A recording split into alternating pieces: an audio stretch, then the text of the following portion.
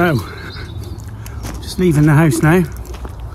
Hopefully, to finish my uh, night rating. I mean, look at the weather. Looks all right, doesn't it? Surely.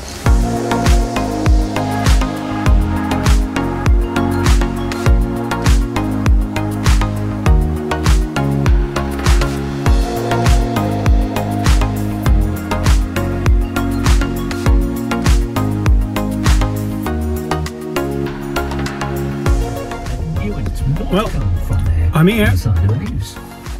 So, what do we reckon? Do we reckon that's a go? Birds, birds, birds. Don't know. Let's go and find out, shall we?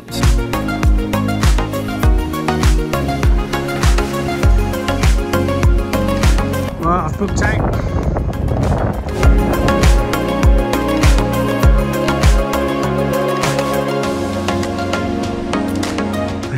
Is. PA 28 180.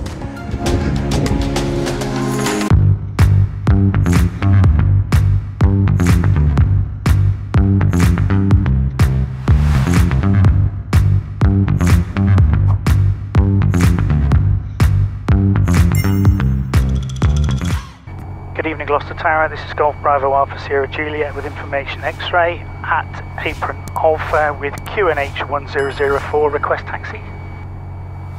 Golf Bravo Alpha Sierra Juliet, Gloucester Tower, going into you, taxi on point Alpha 2. Taxi Alpha 2, Golf Bravo Alpha Sierra Juliet.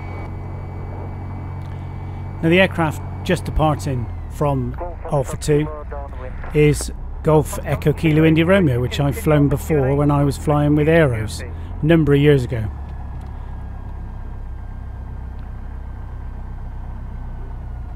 Golf Sierra Juliet's holding Alpha 2 ready for departure. Golf Sierra Juliet, hold position. After departure, be noise abatement, followed by a left turn to the south. Traffic on departure is turning right into the circuit. Runway 27 is 555, wet, wet, wet. Hold position, uh, left turn after noise abatement. The traffic, uh, we'll be looking for traffic. Golf Sierra Juliet. Golf Sierra Juliet, runway 27 cleared for takeoff, wind 2123, 6 knots. Uh, clear for takeoff. Golf Sierra Juliet. It's fair to say that my anxiety levels are increasing now. There was a decent crosswind across the runway, which means as soon as the aircraft rotates, you'll see the nose shuttlecock into the wind. And I think I even start to say something and then stop because my capacity for even speaking is uh, fairly limited.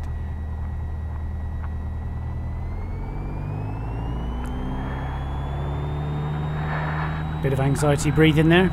T's and P's are in the green. Airspeed is alive. Golf Foxtrot Kilo, the Cherokee on departure is turning left to the There you go. Oh, that's a bit of a... previous to that is in the right hand The turn. nose shuttlecocked into wind, and uh, I couldn't even have the capacity to make that comment. I was pretty, pretty anxious, I think, to be fair, but it's, it's natural. And a bit of anxiety is healthy, I think. The video quality is not great at all. I'm going to have to invest in a decent DSLR and then work out how to attach that to the aircraft to get some decent footage at night. It was quite hazy, and in the climate, I noticed that there was a thin layer, almost like you see when you get an inversion.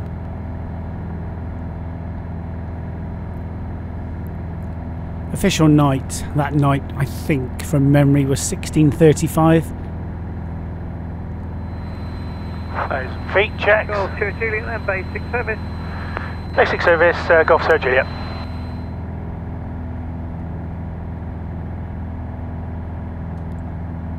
So my plan was to fly down to the two bridges, the Severn bridges, and then to come back up on the east side.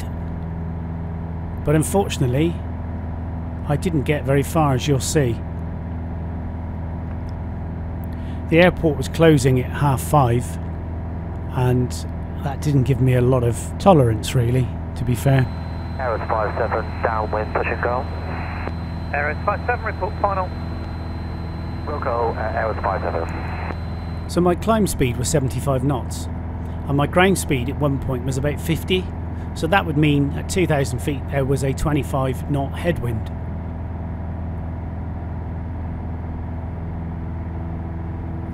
I can remember thinking at this point, am I going to get down to the bridges or not?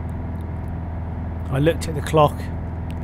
Basically, I would have to get down there, back, taxi, get out the aircraft ready for the fire crew to put it away into the hangar, or by half past five. I'm just flying over Gloucester now.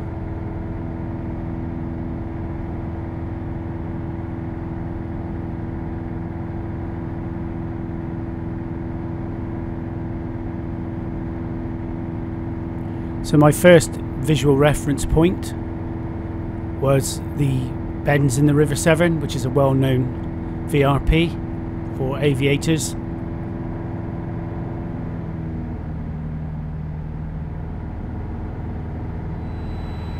Golf Foxtrot Kilo downwind for full stop uh, landing go. Golf Foxtrot Kilo, a firm. Your number two, number one is Cherokee on base ahead of you, but that traffic is for touch and go. Follow that traffic. Number two, Golf Foxtrot Kilo. Just to the left of the nose, you can see the River Severn, and then below that on the left, you can see the Gloucester Docks, and then the start of the Gloucester to Sharpness Canal.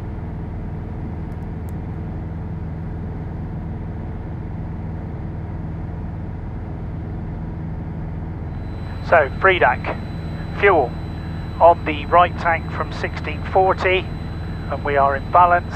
Radios 128555 talking to Gloucester Tower. Altitude 2,500 feet on QNH 1004. DI 2425. Oh, and that's not bad. Just get back onto heading. Uh, Carby. I had to think what the C in Freedac was. Of course, it's Carby. There's a little lever that you push on, and it basically diverts hot air from the exhaust in through the inlet manifold so that there isn't any carb ice forming in the venturi part of the carburetor.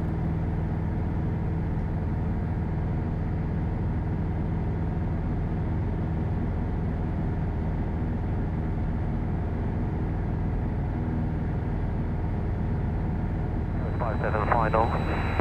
Air 57, runway 27, clear touch and go, wind 210 degrees, 8 knots. Yeah, it's clear touch and go, five seven.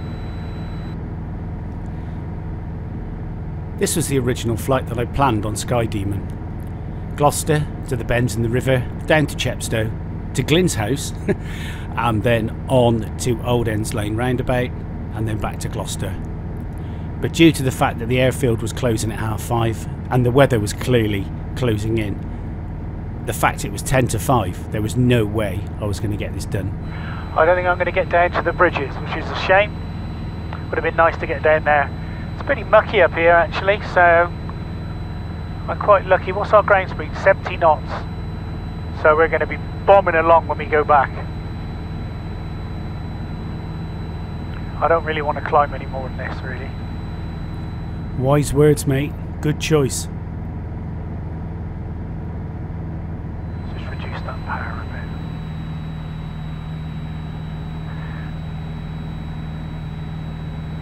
bit. Kilo. Golf Foxtrot Kilo, continuous. So we're now back at the airfield, or over the top of the airfield, doing a standard overhead join.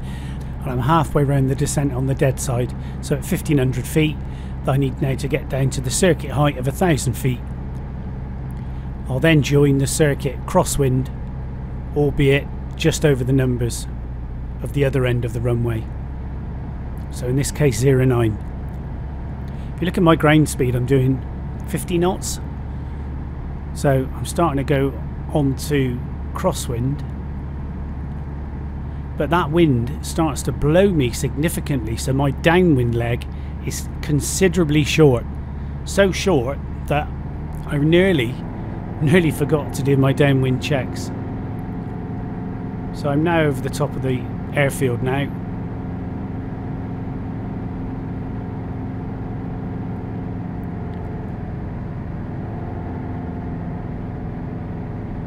And now I'm starting to roll onto downwind. So you watch my airspeed start to creep up. creep up indeed, look.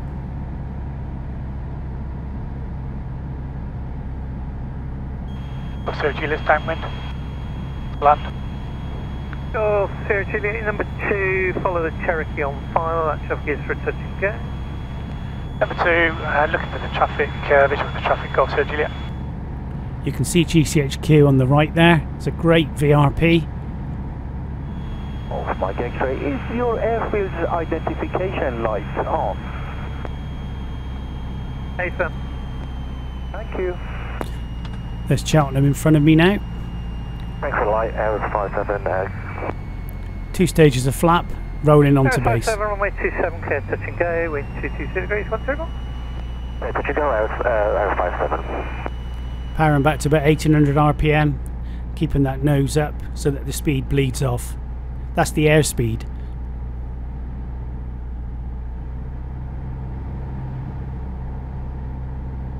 GCHQ a very prominent visual reference point.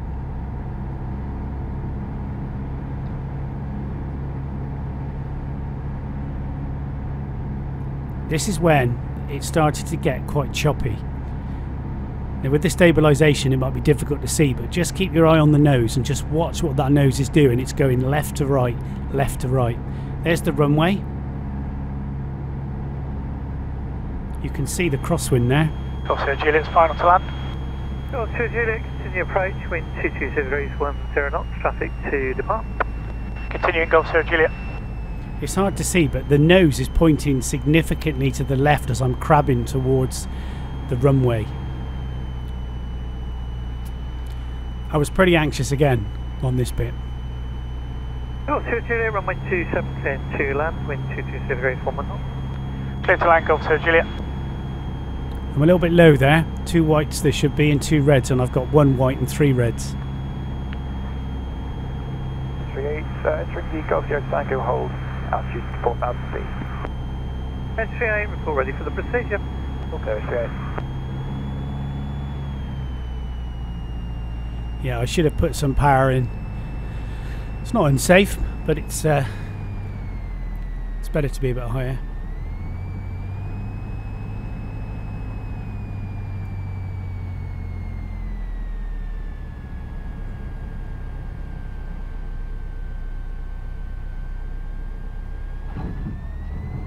Yeah, a little bit heavier than I'd like, but okay. Golf Sierra Juliet, backtrack runway 27. Backtrack, runway 27 Golf Sierra Juliet. I think I start moaning about how that was a bit heavy in a sec.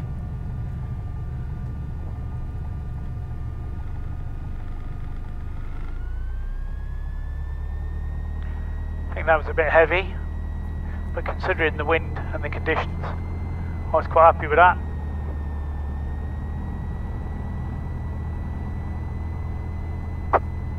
I think you're never happy with your landings unless they're greasers. Golf Charlie Delta Mike X-ray 3 miles. Golf Mike X-ray, report descending on the dead side, circuit active with traffic turning downwind. Uh, Wilco Golf Mike X-ray. So if you look at the time now, it's 1707. I've still got a taxi back to the apron. I've got to do the shutdown checks and the after landing checks before. Aeros 57, downwind, touch and go, request PAPIs off. Aero 57, Wilco, report final. Wilco, Aeros 57. Golf Sierra Juliet, taxi via Alpha 2, right?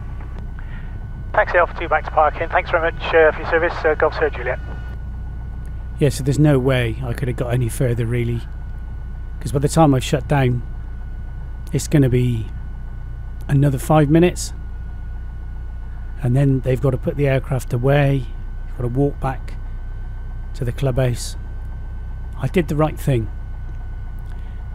Anyway, thanks for watching this. Hope you found it interesting, maybe. And when I got back to the clubhouse, my instructor signed my night rating off. We submitted it to the CAA, and for £147, the CAA will kindly add that to my licence. I can't actually use the rating until I have the paper copy in my hand, although I could use my instructor's licence but I would have to pay him and it would be classed as instruction.